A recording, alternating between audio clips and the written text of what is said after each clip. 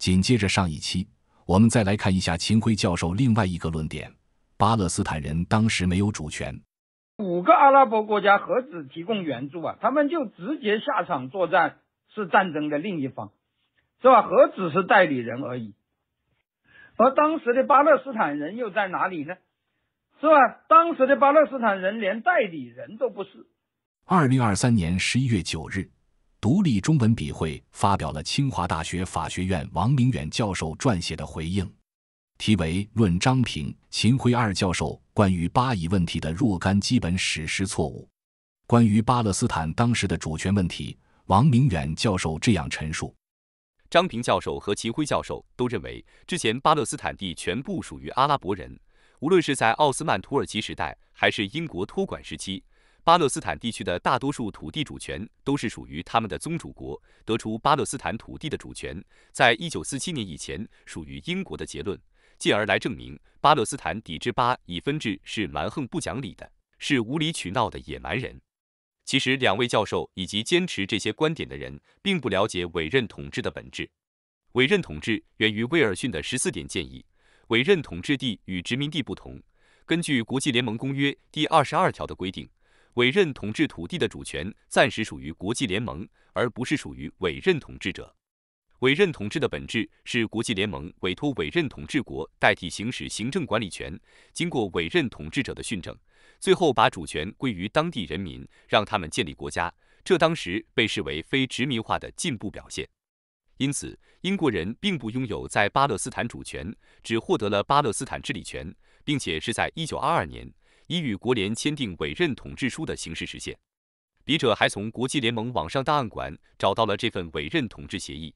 里面包含大量对英国委任管理行为的约束条款。此外，英国每年还要向国联理事会汇报委任情况，就像公司管理团队要向董事会汇报财务情况。虽然基于英法控制了国联，这些委任统治约束很大程度是形式上的，但是从本质原则上讲，巴勒斯坦更像他的承包地，而地契明明白白写着以后要归还主人，也就是当地土著居民。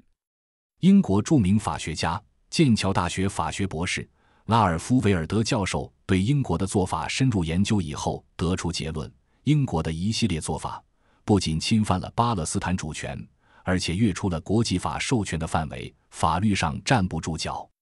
首先，维尔德博士指出，第一次世界大战结束，国际联盟托管给英国的巴勒斯坦地区属于 A 类托管地，按照国际联盟公约第二十二条规定。A 类托管地应当在英国保护下作为独立国家的存在，可暂时得到承认，但需由委任统治国提供行政建议和协助，直到他们能够独立为止。也就是说，英国开始巴勒斯坦委任统治的1922年，就应当辅导巴勒斯坦走向独立。英国恰好没有这样做。维尔德教授进一步指出，尽管巴勒斯坦委任统治书由国际联盟发布给英国。也按照英国的意愿植入了贝尔福协议，但是这样做依旧违反了国际联盟自身的规定。在他二零二三年九月二十八日加沙危机爆发前夕开设的公开讲座中总结道：“根据国际法关于国际组织权力的一般原则，委任统治协定中，贝尔福宣言承诺与联盟盟约第二十二条相抵触的部分应视为不存在。”英国在二十世纪二十年代没有按照国联盟约第二十二条的要求暂时承认巴勒斯坦建国，而是在四分之一世纪的时间里一直霸占着这片领土，以使贝尔福承诺得以实现。这违反了国际法。当英国在所谓的第一次世界大战后从奥斯曼帝国手中接过对巴勒斯坦的控制权，为犹太人移民提供了便利。这使得人口结构发生了有利于巴勒斯坦犹太社区成员的变化。他规定将土地和财产转让给犹太社区成员，包括通过强制征用和其他方式没收非犹太裔巴勒斯坦业主和占领者的土地和财产，支持发展和建立临时自治的犹太政治机构，同时拒绝支持和压制任何相应的非犹太巴勒斯坦机构的活动。我们再来看一段简短的历史镜头。美国著名阿拉伯裔中东学者、哥伦比亚大学教授爱德华·塞义德回忆发生在他父母身上的一件事。My mother was born and lived in Nazareth. 我母亲出生并生活在拿撒勒，并于1932年在那里嫁给了我的父亲。我父亲来自耶路撒冷，直到十到十五年前，他才告诉我这是他一段非同寻常的经历。当他嫁给我父亲时，他们必须登记婚礼。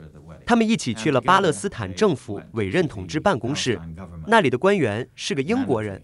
我母亲说，她惊讶地看着他的撕毁他的护照。我母亲说：“你为什么要这么做？”他说：“现在你可以用你丈夫的护照旅行了。”他说是的，但我的意思是，我为什么要以这种方式失去我的护照？他说，嗯，因为你这个护照的名额将给一个来巴勒斯坦的犹太移民。他的想法是，他的身份只是你知道，只是撕掉一张纸的简单行为就被一个外国人夺走了。他为此承受了三十年的后果。And the idea was that her identity was just, you know, just by a simple act of tearing up a piece of paper was taken away from her by a foreigner. And she lived with the consequences of that for 30 years. And then she became, in the 50s, in the late 50s, a Lebanese citizen.